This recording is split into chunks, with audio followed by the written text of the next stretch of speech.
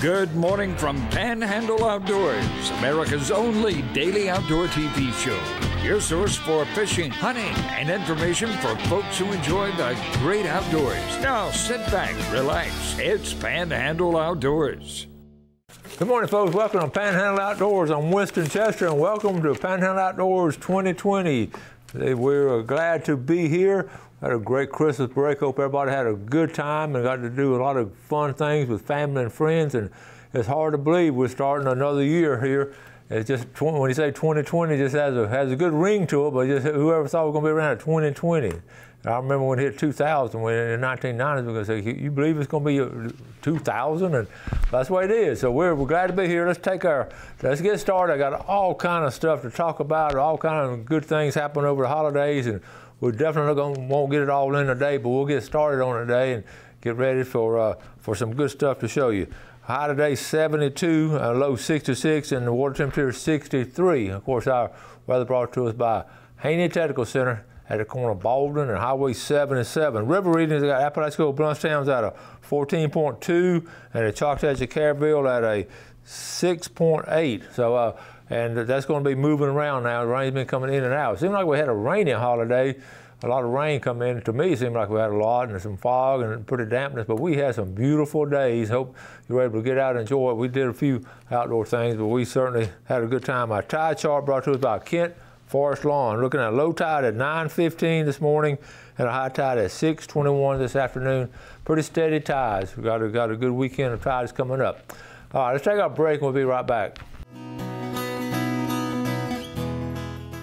Okay, let's get started. I got a couple of short videos today of some things we did over the holidays, but I also got a stack of pictures. I won't get them all in today, but we'll get some of them in. So let's get started on the pictures. I want to start off the year.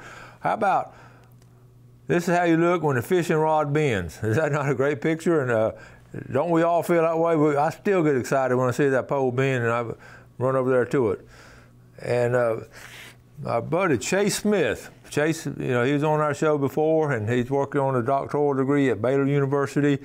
And he came home to see his mom and dad for Christmas. He and his wife did, and he one of the first things he did, he went fishing, and the second thing he did went hunting. So it's great to see Chase, and when he gets time, we're gonna get him back on the show. But look what his mom's saying to Cameron Brown Smith, and uh, their roots are in Marianna and, and Bonifay.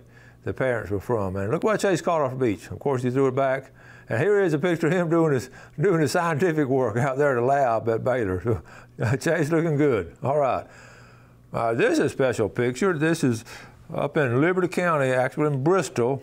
Uh, this is Michael Richard's son. This is Braden, and he, this is his first buck. And we were actually up there. We had our Chester get together the, the night after Christmas. Uh, all the cousins and all we all get together over there at Matthew's house, and we're in the backyard and Michael and Matthew were best friends. They played ball together in high school. Came up, said, "I need. Can we clean our, our buck at your house?" And, my, and Matthew's got a big old place to clean clean deer. If you're from the if you're from the region, you understand what everybody in, in, in the neighborhood and community. There's always one or two homes you can go in the backyard and clean your buck. And this, is, so here's a picture. Here's a picture of Michael and Michael's wife Heather, and they've. Uh, some local folks, and they are proud, of proud of you, Brayden. Had a good talk with ninth grader there, Liberty County High School. That's his first book. Good job there. Matt Spencer up there uh, around Altha sent his picture. She, pers- she persevered to the very end for this one. Good job. I see young people at it. Mandy Warren's daughter. Uh, who's more excited about Riley's Christmas gift, okay, or dad, or either Riley? And uh, archery is always a great gift to, to give people, uh, girls and boys love to shoot a bow and arrow generation after generation. Pam Peterson Kelly, uh, here, here Junior, Junior Kelly. Junior played ball for me many years ago, and he he is a fine outdoorsman and a good working man. And look at that nice buck, and uh, he, deer sausage is coming to my freezer real soon. So good one there. Uh, let's let's jump on fishing real quick. Uh, Mike Mike McGraw, he said it called a legal pompano. There it is right there. Called a legal pompano just before 7 p.m. This just the other day. Nothing happened and then this. Made my evening. Sand flea, fish bite, and peeled fresh shrimp on a short line. Never caught one this late in the evening. And here, here's a better. Now this is this story continues. Uh, here's a picture of it right here. He's excited. It gets better. because he caught another one. Is that not fine? Pompano fishing. And uh, let's talk a second about pompano fishing in, in the wintertime. They're here. Not not many of them are here, but there's a group of them here. Scott Lindsay and I were talking about it, and he, he used to really target them in December. He and another guy, and uh, there. But it's my, not many people fish for pompano in wintertime. There's not a lot of them here, but they are here. All right, speaking of fishing, let's go in this video. Bill Allen and I were able to take off a day. Just we just stopped what we're doing and, and took off a day and ran down to Apalachicola, put in Abercrombie Landing, and fished over there. Jones, Bob Jones uh, Cut and uh, St. Mark's Little Creek and all up in that area that we usually go to, and just had a wonderful time. I didn't. I fished more than I filmed on this one, so this is a little short video. Usually a lot longer, but I, we caught some fish. But I just, well, I'm more, more interested in, in fishing than filming. So, Jeff, let's go and roll this video.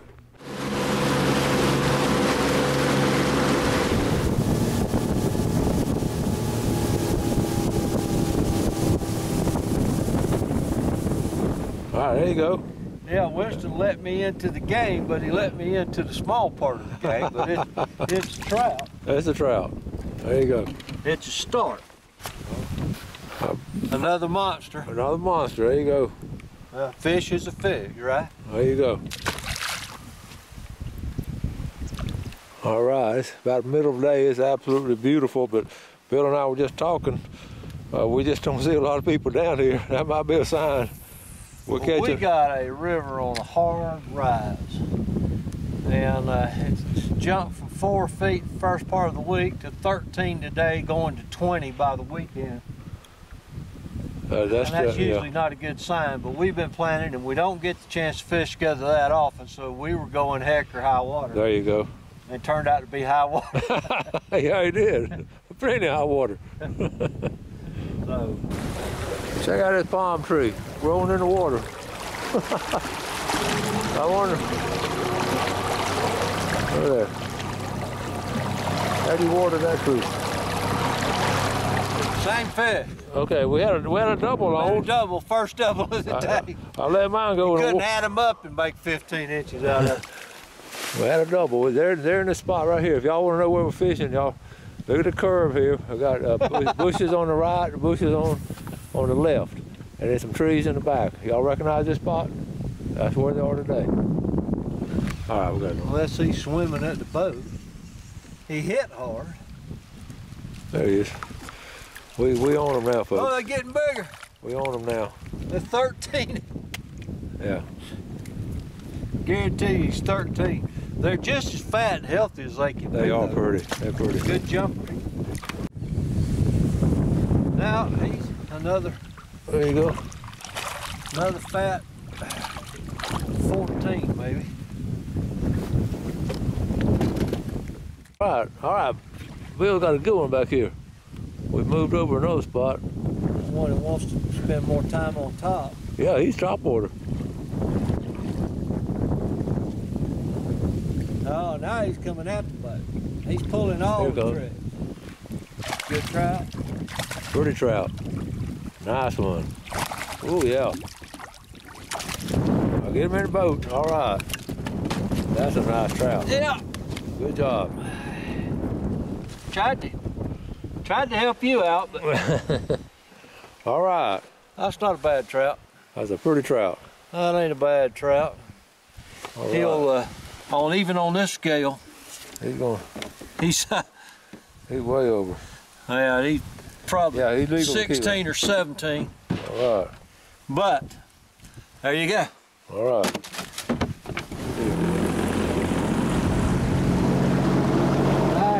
That's a little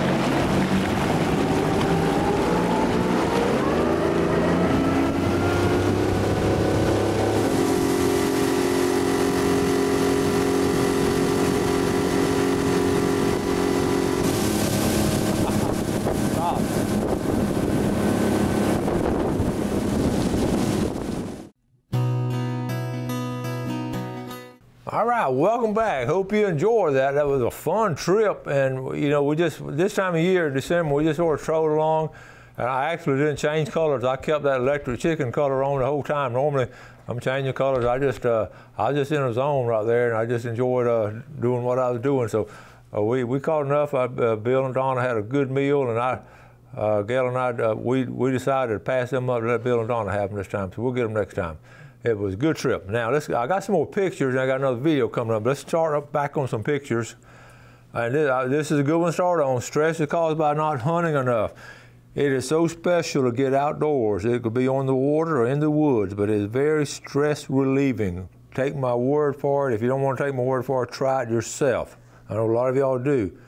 This is a, this, I, I, got aggravated at this. Uh, J- Jason Whitfield uh, posted this, and I'm gonna sort of read to you. I need help find out who poached two of our pet axis at our family farm this week. The farm is located between Fountain and Blountstown. Uh, that's sort of off 274, not too far from my place up there. The poachers shot the deer from the road and then cut a hole in the fence and pulled them out to the road. Ask you please share this post if you know of any people that may live in the areas. If you have any information, message me or call the FWC. The farm is called Goldenrod Farms. That's Grover Davis. Uh, Jason is Grover's uh, son-in-law. Here, this is their pet axis deer, okay? They, all right, here we go. I got some more pictures of them. This is this is aggravating. These these are pets. So what somebody did, they see where they cut the fence wire. These are some low life poachers right here. And uh, here's another angle. They drove up the road right there, saw them, shot, cut the wire, shot them. And if that's not a scoundrel, I don't know what is. I I, I wrote a, I sent I sent him a post, uh, and uh, I, I, told him uh, the Panhandle Outdoors will put $200 in the pot as a reward to catch uh, these low-life poachers because it's just that, that's no, no sense in that. And uh, I don't know what's going to happen there, but I sure if you know anything, let the FWC know, and uh, and we'll try to try to catch these folks. That, that's there's no excuse in that whatsoever. that's awful. Okay, Ryan McLean and Marcy McLean. Uh, Ryan's a pilot with the U.S. Air Force, and Marcy, uh, the team mom and, and volleyball. Their daughter and my granddaughter have been playing a lot of volleyball together over the years, and these are good folks. Big, this is the little brother now. Big congratulations to Cole on his first deer on Doe Day. Special thanks to Pat and Kinley for guiding him along. So there you go. You've made Panhandle Outdoors. Look at there. Doe Day has been really good. A lot, a lot of folks did good. Check this guy out. okay. I actually want to take it. It was cool that morning. Remember that right before Christmas, it got we had a cool snap. But I promise you, if you wrap up and layer after layer, I wasn't cold one bit. But we had a, we had a good time and had Bill. What I did, what I try to do, I rub it in. When I catch a fish, I, I send a message to uh, to my grandkids or some buddies of mine. and Say, I wish you were here. I wish you wasn't in school. I wish you wasn't working. But uh, anyway, that's uh, that's some of the things uh, we want to be aware of. Uh, you want to share the joy. Now, okay, this next video, got another took uh, spent some time at the Cape as we always do during the holidays, and I want to tell you all again. Now, I've, told, I've said over and over again, if you get a chance to go to, to the area, some of this areas uh, like Cape San Blas during the winter time, and, and, first of all, there's not much crowd, but it's just beautiful, and the water just I call it winter clarity. Our, our bay system throughout our bay systems over Choctawhatchee Bay, all all along is just clear, uh, especially St. Andrew Bay and St. Joe Bay. It's just super clear in the wintertime. So we're over there. I told her, I said, let's go over, I want to run over to State Park, and we're, we're right outside of State Park at, St. Joe Peninsula State Park, and see what progress has been made on, on redoing things. So I said, uh, we had the camera with us, and I, we'll take it with us now about everywhere we go. I, so I shot a little three-minute video, and the, the good news is it's, looking good and to have some of the areas uh, is, is smaller because it's not going to hold as many people, of course, because of the parking area. But you're going to see in the video. I'm going to tell you what's going on. But you'll see what's going on. The bad news. Uh, well, I wouldn't say. I'll, I'll, tell you the bad news when we get back uh, from the video. So, Jeff, let's go and roll this video. All right, Panhandle Outdoors down here to give you a review of what's happening at St. Joseph Peninsula State Park. And this is to be the 2020 forecast. It's looking good. Uh, you can see that this is the swimming area back there is going to be good. No problem here. But they got they got one-way traffic now. Come in here, vehicles only with trailers. The store's going to be open. And we're just going there, just an overall view of it. And like I say, it'll be one-way traffic now. So let's walk through it. It's rare you see the St. Joseph Peninsula State Park boat ramp parking lot empty, but it is. But here it is. Everything looks good. The ramp looks good.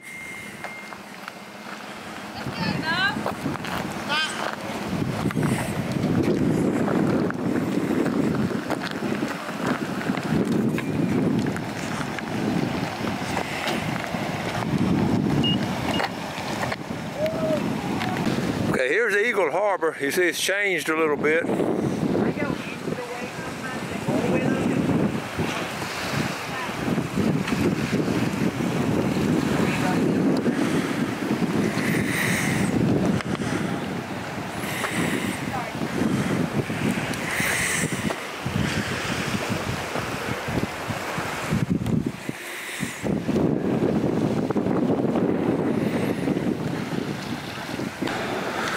Okay, we moved on down. This is toward the end. What's fascinating is that sand is blowing. We parked over there last time. Y'all see that sand pile? I'm gonna go over there in a minute. But uh, you can see that it's gonna be hard to figure out where the fish are in Eagle Harbor because of what's going on with the sand shift.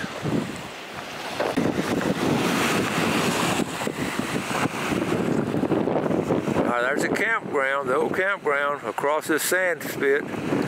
And Speaking of sand, this area right here, I parked here last time I was here, and look how the sand has blown up into this area. And they have planted, they, they bulldozed the sand dune area. I don't know if you can see it. They pushed up sand, so we have sand dunes starting back and coming all the way to the state park campground. And it, it has closed in guess people still parking here. Let me see, let me check this out. Hold on. See the area closed. Uh-oh. Hold on. This is a protected, environmentally sensitive area. Disturbance by humans or pets is prohibited. So you cannot come back into here. I saw some people here. Look at those people over yonder. So this whole section now is closed between here and the campground area so they can rebuild it. The area closed.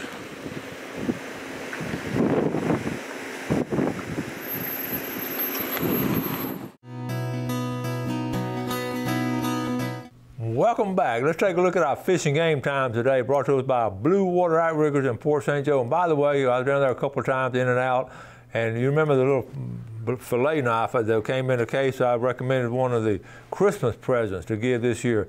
They told me they sold over 300 of those fillet knives, and a lot of them I've seen it on the show and went down there and got it because the price was just really, really good. So that's that's good. In fact, uh, we gave uh, the one I got, I, we gave it to uh, Mason for one of his little Christmas presents. They're they're handy. So anyway, good folks down at Blue Water, and uh, they're right on top of things going on down there.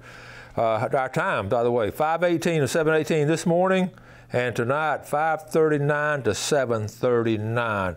I want to say a good morning over the holidays. Ran into Patrick Pilcher from Freeport, uh, Walton County uh, property appraiser. Uh, he loves that early Walton County. We, we started talking, ran into him at a, at a sporting goods store, and we talked and talked. We had the best talk. He watches the show every morning. He loves the book Full Box. He loves that old history and the Pilcher family uh, started up in Walton County. Some of the Pilchers came in in Bay County. I, I, knew some of the, a lot of y'all know the Pilcher family, but had a, such an interesting talk. And I, that's one of the biggest pluses of this show is running into running into folks and talking about the outdoors, talking about the heritage and history. Just had a had a good time talking to him. Okay.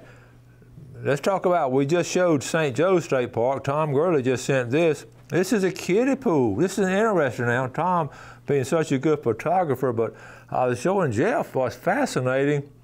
Uh, a couple of things. It's really clear and really shallow on the, this lower end, you know, closest to the on the bottom end of the picture. Then, as you get back, look where they built like a break a break wall. That's rocks. Uh, see that right in there in the center of the page? They built a wall there. So uh, I know that's to help control erosion. That's going to be interesting to see it develop. But that's you know that's, that's engineering at its finest right there. So that's going to be fascinating to see and there's going to be some good fishing, and it's going to affect it and all. So uh, anyway, let me. Uh, I want to talk to y'all, to y'all about the uh, the bad news on the state park. getting back to St. Joe State Park, I was uh, talking to some of the folks in charge down there, and I said, when is the campground going to open back up? And I, I looked, uh, and bottom line, it is their estimate that the campground at St. Joe State Park will not open up to about 2023. Okay, this is 20, that's three years from now. Why it's going to take so long, I have no idea. But what is fascinating, I was going to put it up on Google Earth, and uh, we don't have a good Google Earth picture. this is the latest, this is the latest Google Earth picture we have. Right, okay, there it is. Remember when it was cut through about a year ago? Uh, it's all filled in now, but right there in the center, that's all sand. So uh, it, you can walk across it, but you saw in the video where they've actually, you cannot walk across it, but it's filled in with sand. It is now an environmentally sensitive area, and I can understand that. They want to see oats and all, and everything gets settled and packed in. And, and once that starts growing, uh, they'll, they'll put a road in there. So I don't know if the delay is going to be in, in getting road beds or trying to get electricity out there. I, I don't really know. Or, of course, you got to put a septic uh, system, a, a wastewater system, and, and, water line. There's a lot of work to be done, but uh, there's no building out there. I mean, you don't have to do much building other than the uh, bathhouse. So I don't, I don't know why it's going to take three years, but that's what they're telling me. Hopefully, uh, we can speed things along. We'll have to need to call the governor or somebody to tell them we want to I know a lot of folks enjoy camping there, but it's going to be interesting how they're going to develop it and how it's going to be laid out. My bet is going to be more of the larger spaces compared to uh, to what's going on is you know now because larger spaces for the motorhomes and all. Okay, let's go to another subject real quick. This is some old school research right here. This is a uh, this came out of Calhoun Liberty Liberty Journal, and it's really good because I wanted to share this with you. This is the Tri-State Bobwhite Symposium. Uh, it's going to be next month, actually this month now. This is going to be, I got it right there during Christmas. I get the Calhoun Liberty Journal once, uh, once a week, and it has a lot of good information on all kind of local stuff. And what they're doing is part of Quail Forever, and it's going to be the University of Florida Extension Office. It's going to be on January the 30th. It's going to be, now actually what's going to happen uh, from 9 to 2, and just get together uh, as, as they're trying to restore the pine savanna to the Florida Panhandle. And if and I still remember stories of, of, my dad and granddad talking about the pine trees and nothing was planted in the rows. Just the original pine tree. It was a pine savanna with wiregrass and all, and, and just open areas with palmettos. And you've seen pictures of it. And then the paper companies came in and just cut them all down and put everything in rows, which is not natural. So there's an effort to restore the pine savannas, and the effort to do that, they want to get 82,000 acres. And the, one of the biggest things is going to be such a plus for the quail population. I'm planning on going there. You got to let them know, make reservations, go there. I don't think it charges it for landowners who want to help get some quail on their property uh, restored and and we're all making we're all making an effort to do that, and we, if more and more of us doing that. So I'm going to have more information on later. But just if you want to go and put it in your calendar for January the 30th, I think that's a Thursday, uh, toward the end of this month at Marianna at the University of Florida Extension Office. We've run out of time. I still got a whole pile of stuff to talk about, so we're going to talk about it tomorrow. So we're glad to be back and glad to have you back, and thank you so much for the feedback and and what a what a wonderful Christmas vacation was had by so many people and so many of our viewers uh, stayed in contact with us. So we're going to wrap it up. We got tomorrow now. We're going to give away one more time out of pickle jar. We're going to give away, and then next week y'all start sending names in. You have a great day. Do something good today for your fellow man. Enjoy the great outdoors, and God bless. Thanks for watching America's only daily outdoor TV show, Panhandle Outdoors with Winston Chester, featuring hunting, fishing, and other activities and information to help you enjoy the great outdoors. Join us next time for Panhandle Outdoors.